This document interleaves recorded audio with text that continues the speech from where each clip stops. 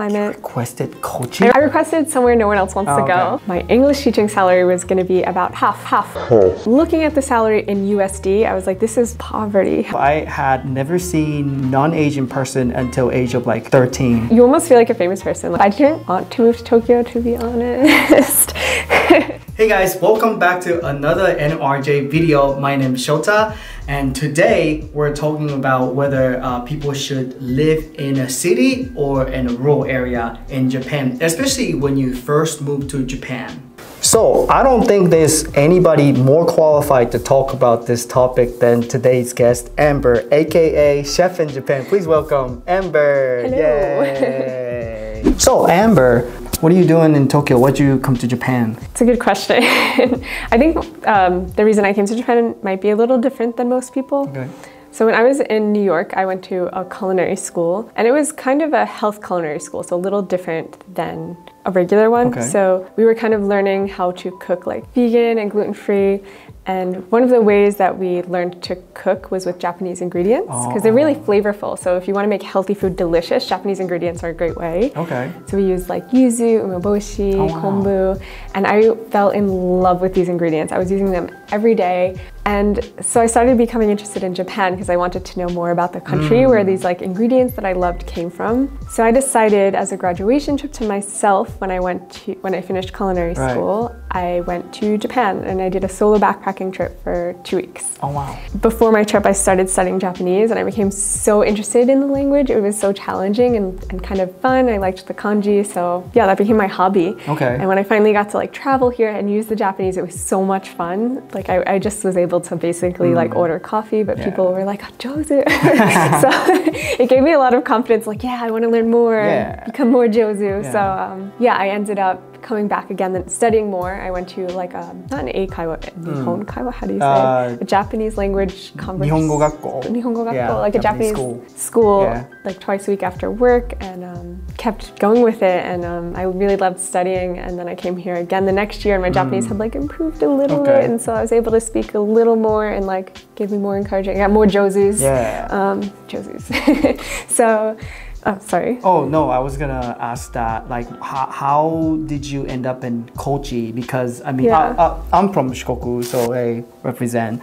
But it's a it's a it's a rather random place to be in because Yeah. it's a small. Your your job brought you to Kochi, or So yeah, Kochi is one of the Japan's prefectures and it's on the smallest of Japan's four main islands. Hmm. So there's Honshu, the main island where like Tokyo is and stuff, and then there's also a smaller island called Shikoku, which is in the west of Japan, Right. and so that's where Kochi is. Super Yeah. rural, no one's heard of it, but everyone should hear about it because I think it's a really great place. yeah, thank you.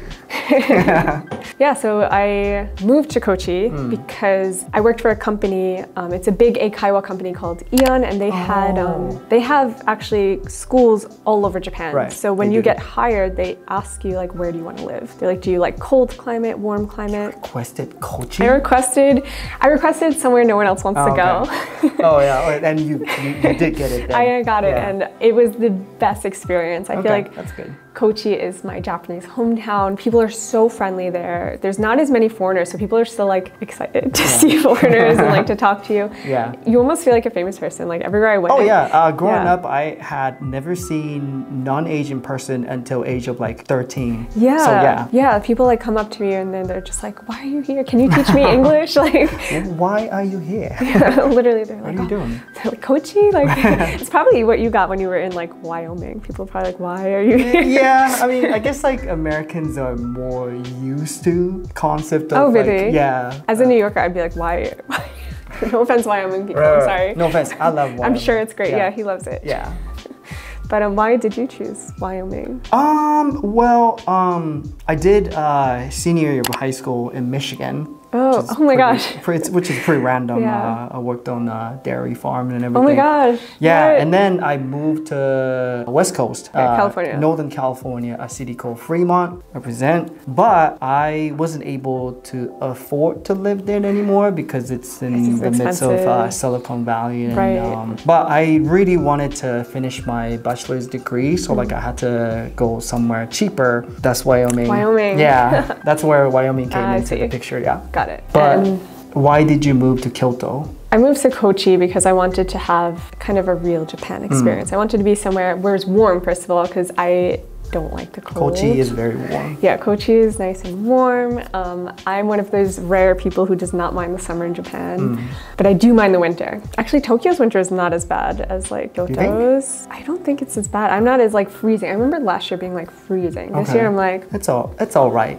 it's up and down. Bad. I moved to Kochi to have that experience and I loved that experience and I really didn't want to leave Kochi to be honest, but it is not well connected to the rest of Japan. Right. One of the reasons why I actually moved here is because my hobby is like kokunai ryoko. Mm. Like I like traveling within Japan and you can't really do that in Kochi. You Out could of Kochi, kind of it's only, very difficult, yeah travel in Kochi and in Shikoku, which are great. It was great for one year. I got to see so many parts of right. Shikoku. But I wanted to explore more of Honshu and I also really wanted to improve my Japanese. And I felt as an English teacher, I didn't I couldn't do that because I had to speak English. Right. I think if you're on the JET program or maybe an ALT, you have more of an opportunity to speak Japanese because you can talk with your coworkers. Okay. But my company had a policy where I wasn't allowed to speak Japanese even with my Japanese coworkers. So I was the only foreigner really? in the whole company, but I couldn't speak Japanese, even in the office if there was no students around. Huh. It kind of made sense though. They wanted my, my coworkers were also English teachers and they wanted them to hear my accent. Okay. So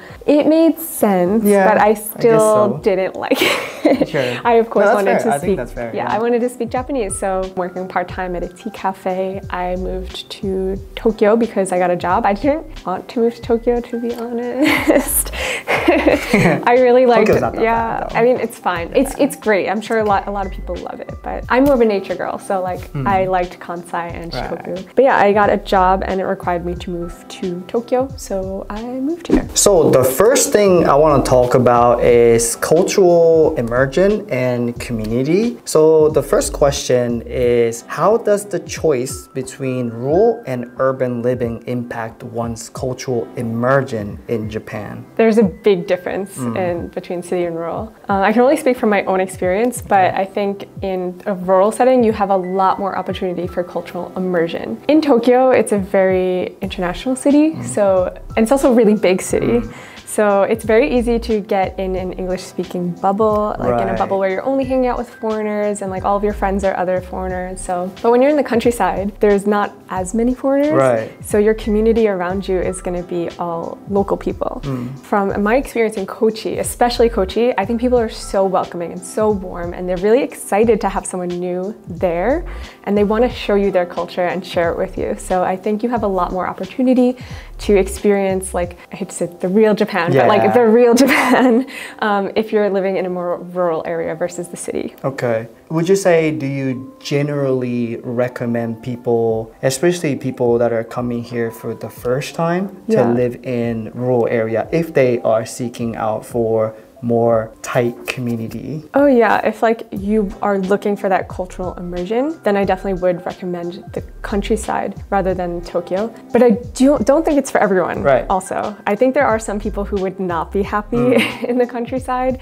Um, it's definitely a specific type of person who really enjoys that kind of community thing. And there's also the aspect of loneliness when you first right. move to Japan. When you first move there, it is super lonely. Like you haven't really connected with the community yet. Mm. And that's a really hard part. That's probably the hardest part, I think, yeah. about moving to a new country alone. So, what kind of person would be perfect for a place like Kochi, like tightly yeah. knit community?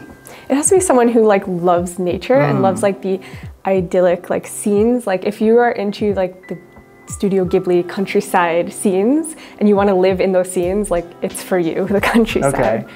Um, also, yeah, for people who want to connect with um, local people more and learn about small local traditions. Mm. Yeah, I think some people who might be happier in Tokyo are the people who come to Japan more for the pop culture. Right. So like anime and um, J-pop, stuff like that, you'll you'd probably be happier in Tokyo rather than the countryside. That's true. So the next thing I want to talk about is learning the language, obviously. Learning Japanese is obviously important for, yeah, uh, a lot of people. But do you think it's easy to learn Japanese in a rural area or in a city? That's a good question. Mm. There's actually a lot of things that go into this. I think it's easier to have conversations with people and get more Japanese practice in a rural area where less people speak English. Okay.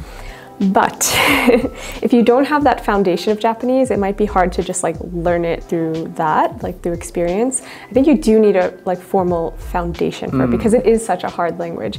Maybe that would work if you're in a country like if you're coming from an English speaking country and you're going to like Spain and you're learning Spanish. But with Japanese, it's so hard. I think that foundation, like that formal education is kind of mm. important, which you cannot really get Right. in rural Japan. Or you couldn't get it in rural Japan. But now you kind of can now that we have the internet and Right. there's like Japanese language classes online, which I was taking when I was in Kochi. I had a private online tutor. Okay.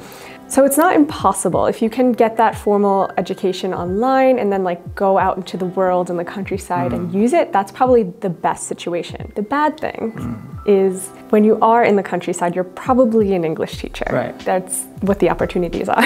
you're probably an English teacher, which means you could be working a lot Mm. and you're not allowed to speak Japanese. Well, it depends on the company. For my company, from my experience, I wasn't allowed to speak any Japanese while I was working, which was 10 hours a day. Really? So I was in an English speaking bubble for 10 hours a day.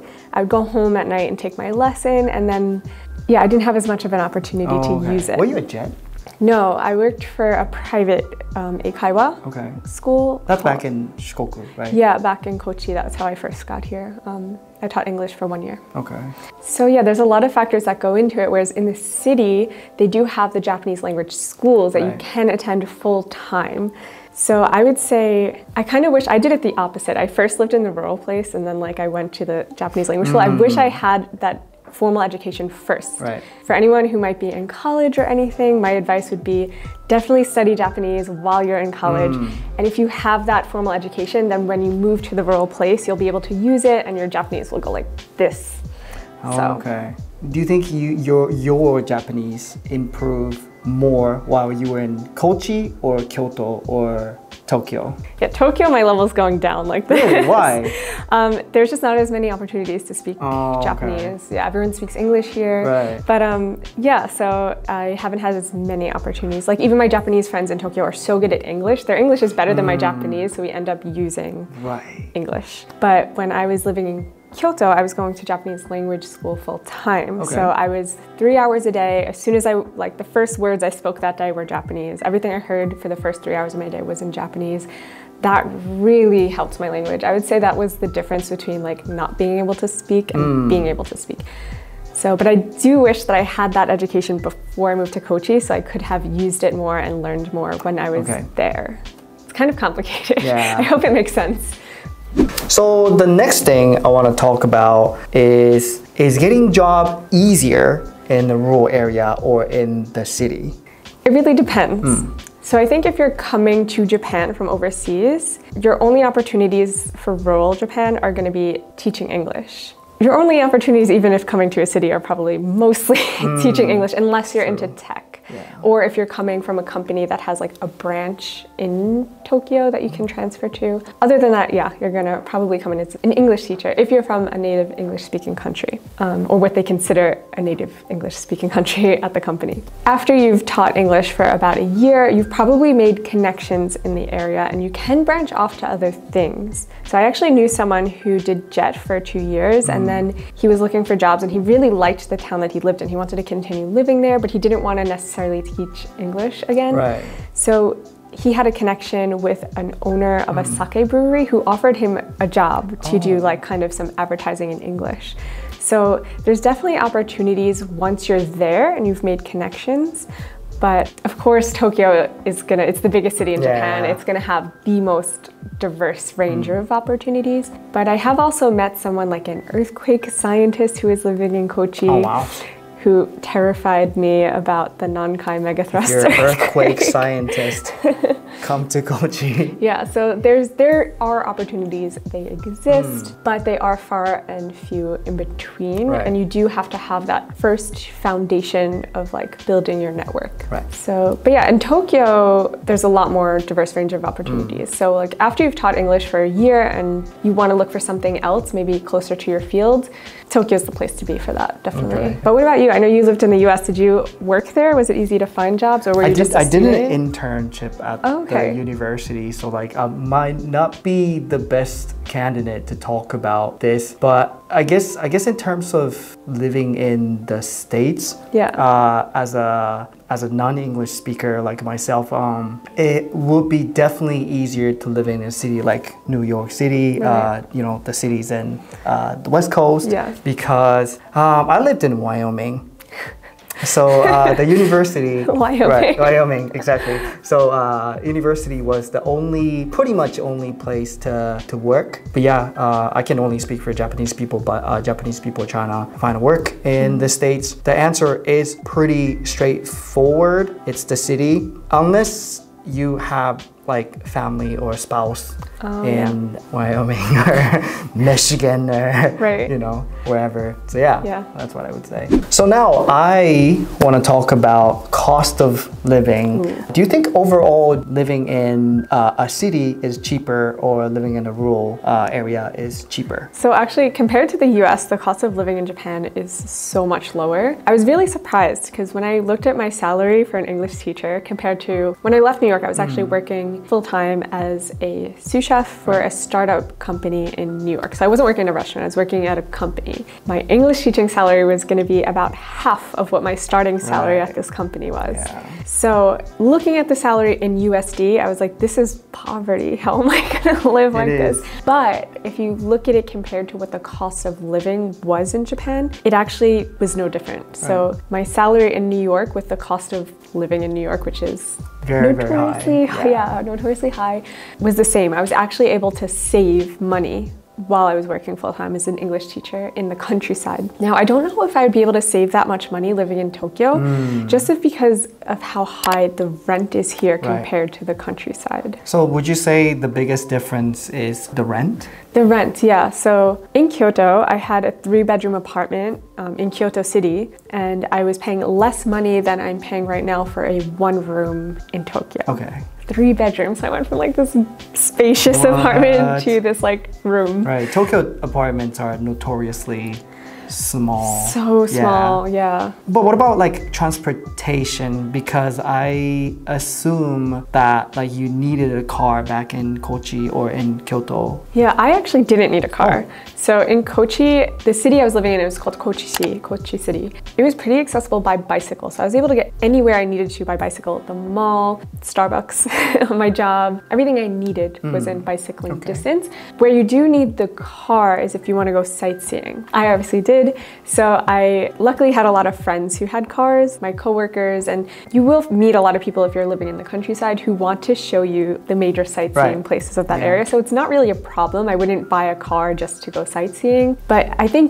my situation might be a little unique because Mm-hmm. Kochi City was the biggest city in Kochi. So even Ko- though Kochi is considered like Inaka uh, rural, it's still a city. It's still a city, yeah. So, but I think there's definitely some people, especially if you're on the JET program, if you're an ALT, you might be placed in like the middle of a rice field, in which case you need a car, and that's an expense you won't have in Tokyo. And cars in Japan, having a car in Japan is so expensive. Hmm. It was shocking to me. Um, I think you have to get an, ex- an inspection every year that's close to like 2,000 USD, and in the It- US yeah. it's like $20. So it's like a huge difference. Yeah. So yeah, that's an expense. But I still think because of how cheap the rent is, it's still cheaper to live to in live a in rural, rural area. than- okay. I think. So. Okay. So I want to ask you one last question. Okay. If you were to start all over, would you still start in Kochi? Oh, 100% yes. I am not making her say this is not an advertisement for Kochi, though No. I feel like it should be. Okay. yeah, I, I loved my first experience in Japan. With the company I worked for, I think I've heard a lot of mixed experiences. Hmm. I think you kind of just get lucky if you get placed in a good school. I was placed in a really good school. I loved Kochi. My job was great, my coworkers were great, and just the town I lived in was so good. I feel like it's my Japanese hometown since it's the first place I lived Right. in Japan. So I feel really attached to it, and I actually go back there often. I go to visit, I go to see the festivals. So yeah, I, I really, I would definitely do that again. The only thing I would change is I wish I could go back in time and study Japanese in college and high school so that I wouldn't have to go to Japanese language school here. It's definitely better to have that foundation before you start living in. You don't need it. Like if you don't have it, don't make that stop you from moving to Japan, but I definitely would prefer, that was the thing I would change if I could do Yeah, it again. okay. So uh, that's about it for today. By the way, if you haven't checked out Amber's channel, it's called Chef in Japan. Please go check out. Uh, we'll put something here somewhere in the in the description. Yeah, I make videos about life in Japan, how to move to Japan, how to get an English teaching job in Japan, and also like travel stuff here. So if you are interested in that, I'd love to connect with you. Send me a comment if you've found my channel from this interview. I- Yeah. yeah, I want to see that. Yeah, um, I've been uh, following her channel and uh, Instagram page. It's awesome, very insightful and helpful. It's true, it's true. Please go check that out. All right, uh, that's about it for today. I'll see you guys in the next video. Bye.